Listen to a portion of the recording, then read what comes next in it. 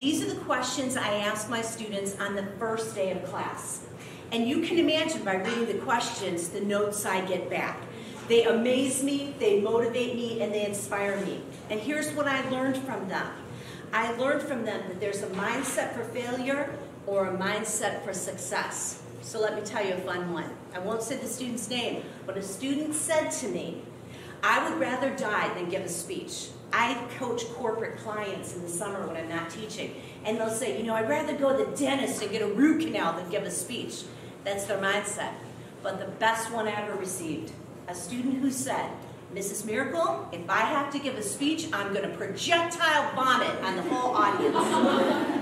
so you can imagine that I realized I had my work cut out for me. So this is the journey I take my students and my clients on. It's the same journey we'll go to in a shortened version today. We've got to uncover the confidence killers.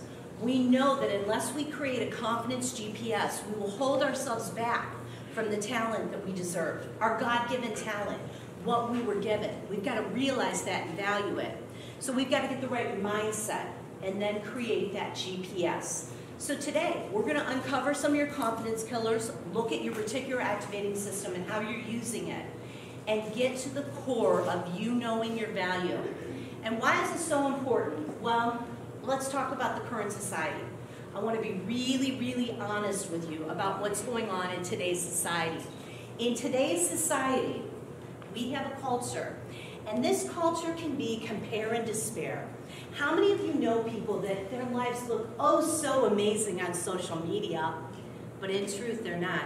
Name a friend like that? Well, compare and despair tells us that everyone is doing all these great things. And we can look at ourselves and say, wow, what am I doing? That's the wrong mindset because what that is, is it's saying a lie.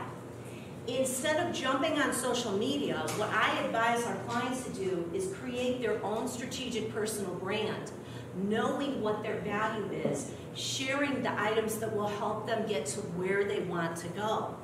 But in our society, one post that goes viral can kill a brand, whether that's a product or a company, or can damage your reputation. Fair?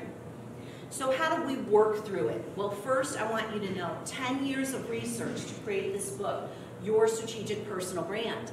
Now, why did I do that? Because I saw people failing, and they had huge amounts of talent, but they didn't know it. You know, I can tell you to be confident, but until you believe it, nothing will change. So I want to share. This is a comment society. Everyone can comment. You can write something, spend tons of time on research, and then someone comments who has no qualification, no research, but they give you this awful feedback.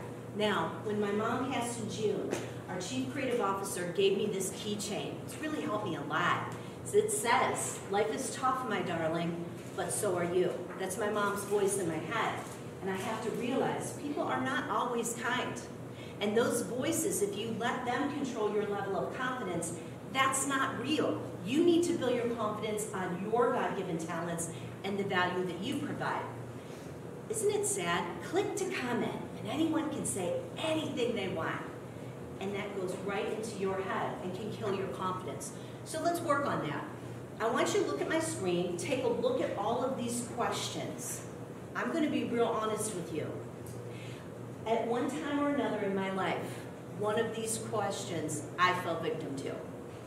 There are people who maybe aren't as kind when they're trying to push you, and maybe that level takes down your confidence. Those words take down the level of your confidence. But did you qualify them? Yes, we love our friends and family, but are they always the best comment, or are they the subject matter expert in what you're trying to do? So yes, we know that we can have guilt, we can take something that's happened in our lives and determine our confidence level just based on that. So I'm going to be real honest with you today and tell you there's two types of people in this world. Those who care and those who are curious. And you better know the difference. Hopefully you can see this slide because it shows a cute little kitten that says, I really want you to pet me, but I kind of want to bite you. If you knew and approached this kitten knowing that these two things are in her head, you'd want to know which one. Are you going to bite me or I really want you to pet me? Well, we have to look at ourselves and our relationships. and the people that we surround ourselves with. There are people who care, and there are people who are curious. Now, I'm going to share something with you because I'm hoping that you guys are going to take this wisdom into the workplace. When I graduated from college, one of my first job interviews, I'd been through a horrible tragedy in college, and I go into my first job interview. I had an interviewer that made me wait 45 minutes past the appointment time. This person then talked on the phone with his wife, with me in the room, and as well walked out of the interview for about 30 minutes. But I was young, I didn't know any better, I didn't have a confidence plan of action. I thought that's what interviews are like, and they're not, so don't worry. if they are, get up and leave. What I needed was, I needed a SPY strategy, and that's what I do now. A SPY strategy would have told me that this company that I was interviewing with was a good company. I just happened to be interviewing with an office that had huge turnover, a landmine of problems. Now, told you, I went through a tragedy, didn't have a confidence plan of action. I accepted that job, even though that interview treated that interviewer treated me like that. I took that job because I needed a job. I didn't have the confidence to know that my value was more. If I had done spy strategy and researched, I would have taken the job with the office 20 minutes north that would have developed my skills. They were a great team. It would have been wonderful. Friends, the importance of confidence plan of action is this. I worked for that company for a year, and I went to a regional meeting. That interviewer was a regional director. That regional director sexually harassed me in front of a bunch of coworkers, everybody on the team, from all the different offices. Now, I let that happen to me. I didn't respect myself. Look at this slide. It says respect yourself, respect others. I was very good at respecting others, but I didn't respect myself. I needed the spy strategy to listen more and talk less, to step back. But before I jump to the workplace, or a new project, or a volunteer project, what are my skills? What are my God-given talents? What is my level of confidence? Is this a distraction from what I'm really supposed to be doing? That's how you use SPY strategy. So let me just share with you, this slide, GIGO, who knows what that stands for? You got it. Garbage in, what are you listening to? What are you watching? What are you reading? Is it helping your confidence or tearing it down? What helped me the most in my SPY strategy is this quote. Is this a test, a temptation, or a treasure? Let's say that you're asked to do a project. Is this a test, a temptation, or is it truly treasure? Knowing me over the years, I've always been that person who I'm really excited about projects, and I used to jump into things all in. I'm all in. Now looking back, some of those were total distractions from where I really needed to be. So I want you to think about you. Is it a test? Is it temptation? Or is it a treasure? And let's talk about you just for a second, because I'm going to be real open with you. And I asked Elizabeth about this when we talked on our lunch. Um, when I was in college, I mentioned to you that a tragedy happened. It did not happen on campus, but I want you to look at my slide. My slide says what happened and what did you make it. I was supposed to be with my friends. My friends were kidnapped a night that I wasn't with them. I was supposed to be there. My friends were taken from this life at 21 and 22 years old. I carried guilt because I believed that if I had been with them, they wouldn't have been murdered. I believed that. Now that I'm older and I know the scenario, I would have died too. My father was very blunt with me and said, if you would have been with them, you wouldn't be here. But what I did was I made it that I had guilt, that deep down inside it wasn't good enough, that if anybody really knew who I was because I wasn't there for my friends, that they wouldn't like me or they would think differently about me. I wasn't there with them because I had gotten an argument with one of my friends three days before, but I carried that guilt. So I don't know what you're going through. I don't know what's happening in your life, but I want you to write down the word shadow. A shadow for some people could be a breakup they haven't gotten over. A shadow for someone is maybe not being, feeling loved by a parent. Whatever that shadow is, if we don't attack the confidence plan of action and create it, it holds you back. And it did for me. It led into my negative thoughts, It made me feel guilty. Sometimes I feared success. I thought, wow, my friends aren't here, and why do I get to do this? Why do I get to do this with my life? So what I had to do was take small steps that you're gonna, we're going to talk about today for you to create a confidence plan of action. What happened with my friends happened. I can't change it. But what I can do is make my pain a campaign. I wrote a book. It's now in four countries. The book helps people. Why did I do that? Friends, the day that book rele was released, I wanted to hide my head under my covers. Asked my husband. I was like, oh God, it's out there. My story's out. But the truth is, it helps people. Now, this book, I had no idea I would do that. I want my friends back. I was supposed to open my business that I run today with one of my friends, Dawn. I didn't get to do that. I didn't want this to happen in my life, but there's going to be things that happen or come up or crisis, and you've got to be able to handle them. Today, I know you learned a lot about leadership, and you learned about how do we make it as women, how do we kick some glass. We've got to take what's happened to us and make it a pain into a campaign. If you let that shadow dominate you, it will hold you back from your success. So I'm going to share something really weird with you. I know you probably look at this screen and you think, oh, what's this parking deck? One of the steps to create your confidence is you need to slay the things that you fear. My friends were not murdered in a parking deck, but for whatever reason, it manifested in me after my friend's murders. I had PTSD. I didn't know that at those days. They didn't know what that was but I couldn't go through a parking deck. I was so afraid. I was afraid someone was underneath the car they were going to get me. So I just couldn't do it. Well, you know, if you're a senior in college, you got to go look for jobs. You've got to park in parking decks and you've got to get through to the interview, right? So I told you that I was creative, but I was also rebellious because here's what I did. I reframed and used storyboarding to help me get through the parking deck. What I would do is I would walk through the parking deck, I would swear like a sailor, and I would yell, if you're underneath the car and you think you're gonna get me, I have a knife in my purse.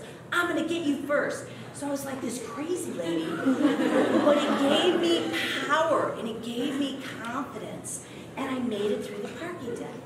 So I kept doing it, and it worked. It really gave me a lot of confidence to get through, especially, you know, if you leave at night, you're kind of scared, it's kind of creepy in the park.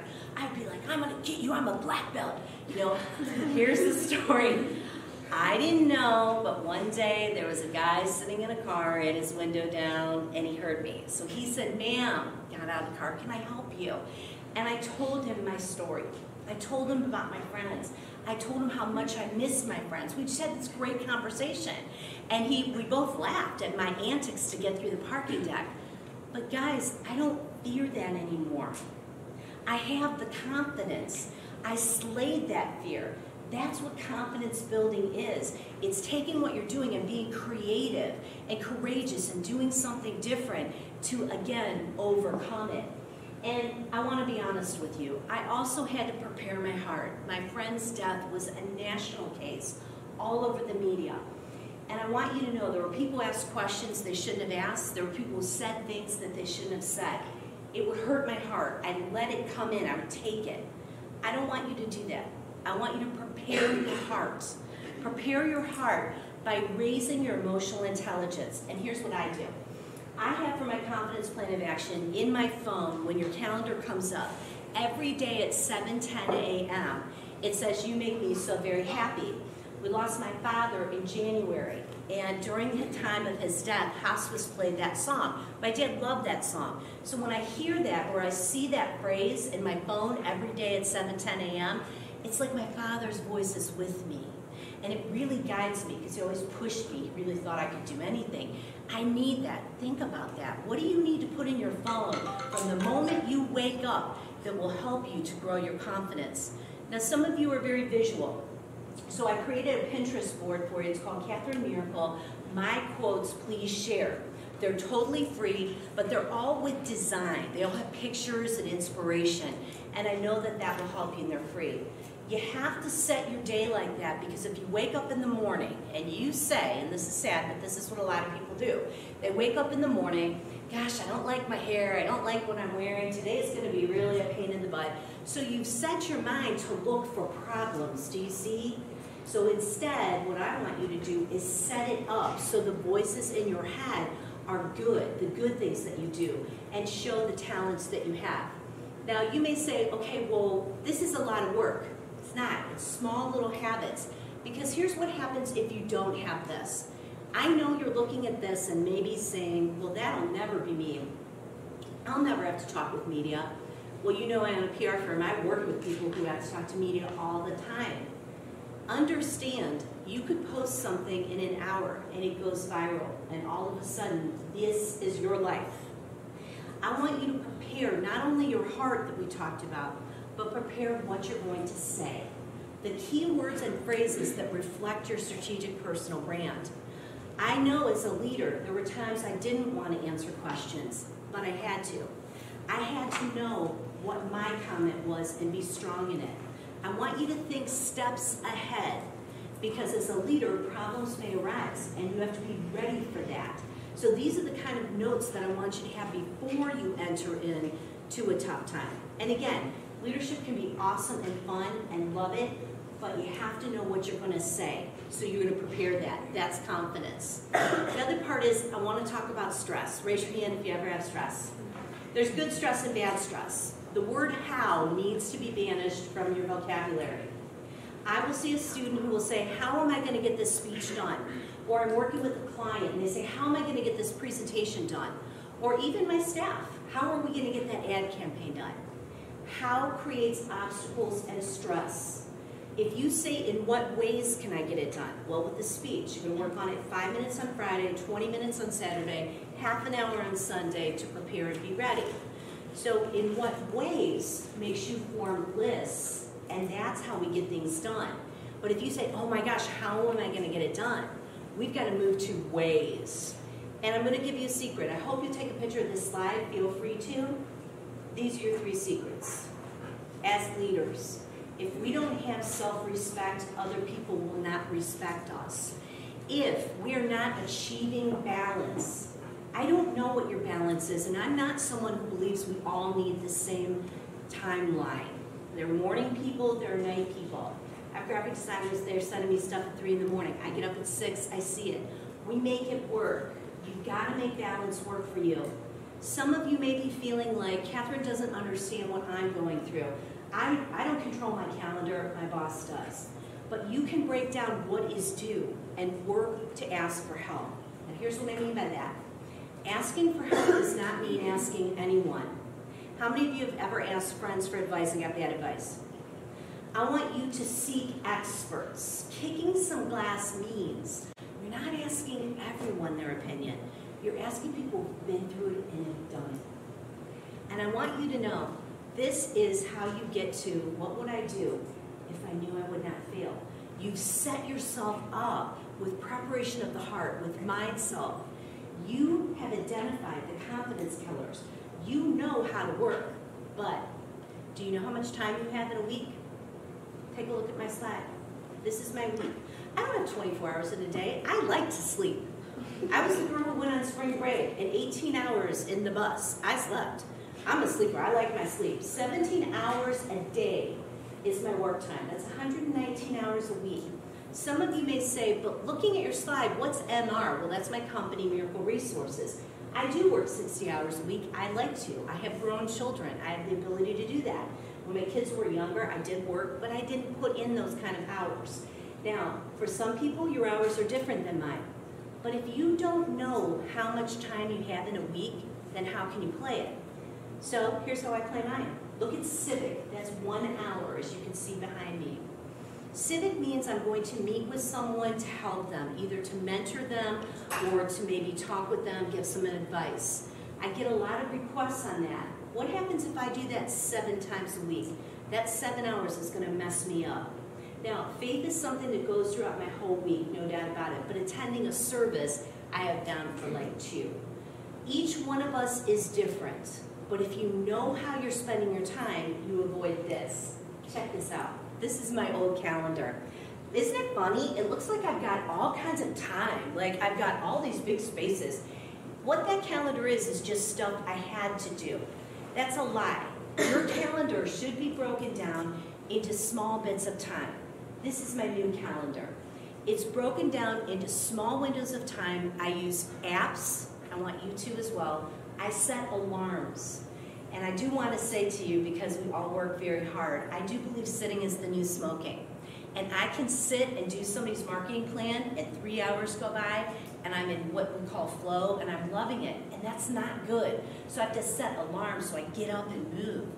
It is true that we take on a lot and sometimes we don't think about breaking it into small packages.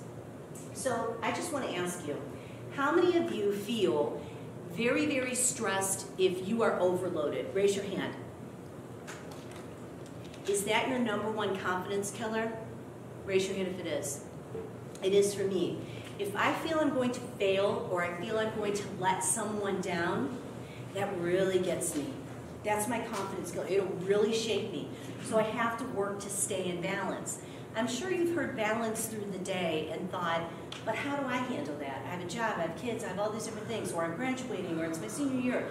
How do I handle that? Well, you're going to have to look at how many hours you have in a week and break it down. And honestly, some things say no to, and look, is it a test, a temptation, or a treasure? Should it be something I'm working on? Is it just something I like? And there's nothing wrong with doing things we like, but how much time are we devoting to it? So I'm pretty diligent about this. There's a ton of social, a ton of fun, a ton of family time in this calendar. And yes, it does rotate. Sometimes there may be something serious to do for work on a Saturday. But take a look at my Sunday night, if you would. Sunday night, there's two work sessions. It makes me feel ready for the week. It makes me feel I'm planned. It gives me confidence. You don't know what your day is going to look like.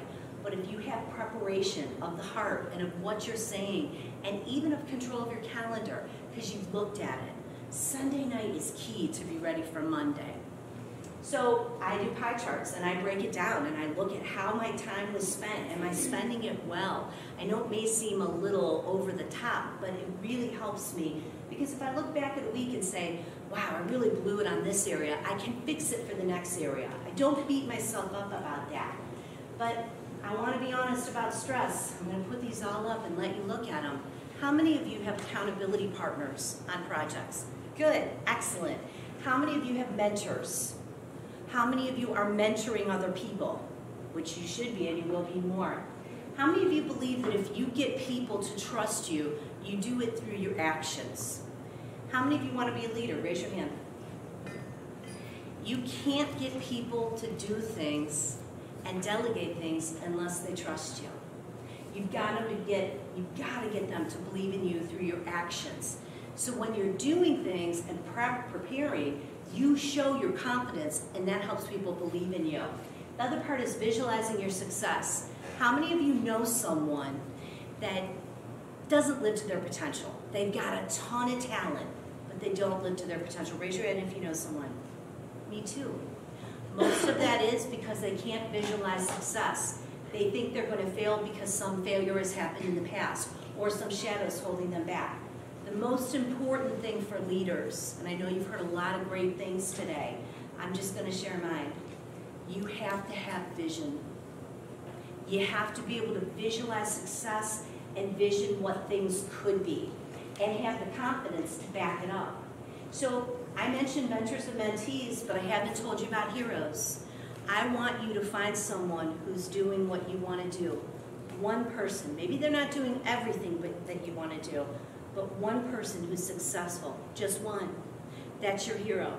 Mine was a gentleman that you probably don't know. His name was Lou Tice. Lou passed about three years ago. My mentor met him through social media. I found him. I wanted to be doing what he's doing. Was across the country speaking. He had a training company, which I have my own training company. He didn't have the marketing and PR, but what he had was the training company and the different thought process that my company brings. How did we get there? Because I watched Lou. He was my hero. He was my subject matter expert. Who's your person? And the other part, do you know what an oxygen list is? You probably saw it on my screen and thought, what's that? How many of you know people that they could truly suck the oxygen out of the room? You know, okay. I'm not asking you to cut them off, but you have to have your oxygen list. People who you enjoy, people who give you oxygen, people who believe in you. You have great conversations and learn from each other. And you give them oxygen. This is a 50-50 thing in relationship. It's not just one way. There are many people who have mentors, and sadly, here's what they do to their mentor. They want their mentor to give them everything, and they give nothing in return. That never works. So I want you to know it's time to deal with what that shadow is, find that hero that can get you through it so you can vision your success. This is a quote that I wrote. Um, I was 24 years old. I left that company that I told you about, and I moved to a great nonprofit. I worked there for 15 years. I loved it. But when I started, I was friends with everybody. We were on the same level. We all did the same job, but in different areas. We were really good friends. And then one day, I became the leader. I was the boss. And remember, I was everybody's friend. And now I became the boss. So this quote I wrote because it's true. Sometimes you got to step up and you got to be the leader. And you may say, I'm not ready. Honestly, I didn't think I was ready, but I had to make myself ready. How did I do that? My confidence plan of action. So I'm just going to say to you, you know reticular activating system, the back part of your brain. That reticular activating system is your personal search engine. Who's heard of this before? Reticular activating system. Anybody? The reticular activating system, back part of your brain, is your Google search. How many of you would like to guess what's on either side of these irises? Irises are the flower of loyalty. What do you think's on either side of this picture? Back row, anybody. What do you think's on either side of this picture? A lake. I love your visualization. I love the power of positivity in what you said. The reality, a crack house and a KFC. I took this in Cleveland, and here's what I did. I cropped it because your brain will crop to the things that you want. I cropped it out because I wanted you to see this and say, your mind will deal with many things, but your reticular activating system will zero in on what you want. How many of you are looking at a car or have ever bought a car? Raise your hand. Okay, what car, if you don't mind me asking? Civic. Okay, so you have Honda Civic. When you were looking at the Honda Civic, did you research online? Okay, did you notice when you bought the car that you saw Honda Civics everywhere? Mm-hmm. That's your reticular activating system. She focused her mind to find it, to find the deal, to check out the car, smart move, spy strategy, good job. But it cropped out everything else, just like I did in this picture. So the power in what I'm asking you today, one last story for you, is what would you do if you knew you would not fail? We had a client, and we're going to call her Frankie. Frankie used this book that I spent 10 years of research on and said, I'm working for a company and they don't value me. They don't listen to me, and I'm not getting the promotion. She hired us, we worked through the book with her, and we came up with a strategy. And that strategy is that she would go to her new job and do things differently using the confidence plan of action. But I have to tell you about Rose. Rose is her coworker. Frankie was hired the same week as Rose. Frankie, our client, would go to the corporate staff meeting that started at 2 p.m. every month. She would go at 9 a.m. She would meet with everybody at the corporate headquarters, have meetings. She would volunteer and make sure in that volunteering was on the right committees, with the right people, with the right opportunities, and the right resources. Frankie worked very, very, very hard. This was not easy for her. Her confidence was not at a place when we met her to do something like this, but she did it.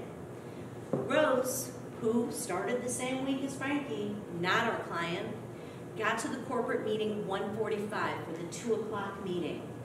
Please understand, Frankie and Rose worked in divisions. They were very similar. They started the same week. Can you imagine Rose and how she felt when she found that she would only get 10% of her budget? Frankie got 90% of her budget. Why? I've been Rose. I've been the person who worked so hard, put my nose to the grindstone, thought I didn't have time to have a confidence plan of action. I didn't have time for all the networking and the relationships. But what did I miss? I missed the right resources, the right opportunities, and the right people. The difference between Frankie and Rose is just a confidence plan of action and a strategic personal brand. So I want to leave you with this. I believe this quote is true. To really feel success is to feel you're valued.